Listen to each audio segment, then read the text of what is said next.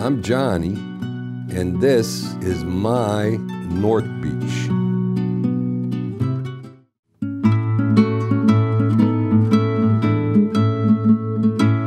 So cioppino is a traditional San Francisco stew.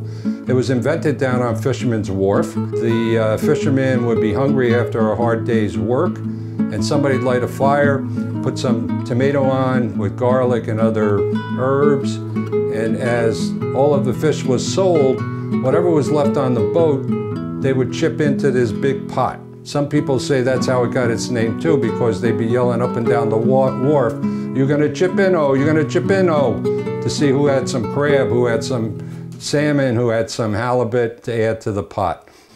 I steamed some crab and cracked it. So this is gonna be the major ingredient in the cioppino. These, this is Dungeness crab uh, caught right off the coast of San Francisco. We have some very nice calamari that I'm gonna cut into rings. And this is uh, sourced from Monterey Bay, a little bit south of us. Some sea scallops. We have some shrimp here. I left them in the shell because the shell actually will add some flavor to the broth and it's pretty easy to peel off. I also cut through the shell so I could get rid of the vein back here. Here's a nice piece of haddock. And I'm going to leave this whole because as it cooks, it may, uh, it may break apart a little bit and not be as big. And back here, number six and number seven, I've got some uh, small clams and some mussels. I've got my uh, San Marzanos, right, DOP, dope tomatoes. I put them in a bowl, crushed them by hand. This is gonna be the base of the broth. And then over here, uh, we've got a little uh, red bell pepper. I'm gonna put that in for a little sweetness. I've got a piece of fennel here. I like to get a little bit of that anise flavor into the broth. I've got uh, dry, uh, dry oregano here on the branch. Hiding back here is a little pepperoncino. I'm gonna chop that up and it's gonna give us a little heat on the backside. A couple of fresh bay leaves, fresh basil, garlic, flat Italian parsley, and an onion. I'm gonna put in a little bit of um, red bell pepper. If you're lucky, you may get a piece of this. The fennel's going to add a nice licorice anise flavor. And I'm just going to cut this piece in thirds. Onion, but I want to just try to keep this balanced here a little bit. But here we go with the baboom on the, on the garlic. Just give it a good smash. We're going to leave that that way. And a second one, baboom, paper comes right off. This is from my butcher at Little City. He grows these in his backyard. This is going to give us a, a nice little peppery sparkle at the end of each bite. So the first thing I'm going to do is add some uh, fairly good amount of olive oil. A tip is I, I really use the, uh, the garlic to kind of flavor the, uh, the olive oil. And I think I need a little bit more olive oil. So I'm bringing the olive oil and the garlic up to temp together. And before the pan gets too hot, sometimes I'll just Bring the, uh, the garlic down there and see it's, it's sizzling in that oil a little bit. Next I'm going to put in the onion. Then I'll add the, uh, the fennel. This is going to give us a nice anise flavor to this broth. Okay, a little color. Oh, we're to have the Italian flag over here. Red, white, and green. Wow. The, the aromas coming out of this pan already are just fantastic. So I'm to put in the two bay leaves. Here's uh, the chili, dried chili, that's going in. We'll let that toast a little bit also. It's the base of our cioppino, our fish stew. The parsley, it's gonna be a nice flavor in the basil. We're gonna, we're gonna want some oregano, but not a lot. Bring it up to temp here, and then we'll start adding our shellfish. So now we gotta get the fish ready to go in there.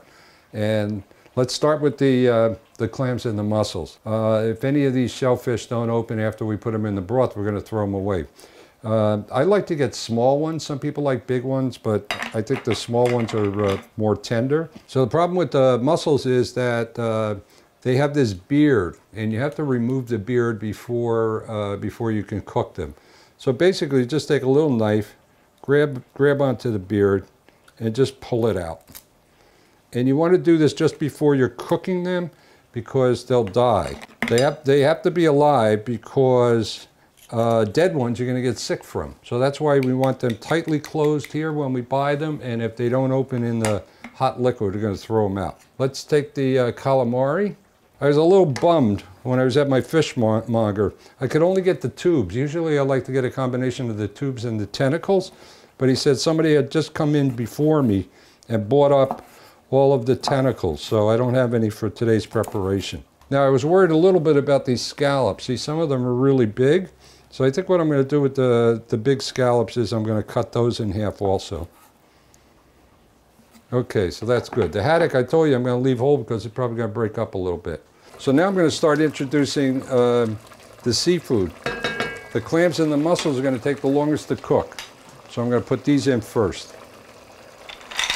I'm going to give these a minute or two a head, head start. The next fish that are going to take the longest to cook, I think, is going to be uh, the haddock. So I'm going to put that in. I'll put the shrimp in now. I got my scallops and I got my calamari. So I'm just going to put these all right in. Nice and nice. I know the clams are starting to open here. So I'm going to introduce the uh, to the crab to the other six fish because this really just has to come to temp. So I'm just going to set that on top. I'm going to put the top back on, give this another minute, and we're going to be uh, we're going to be ready to eat.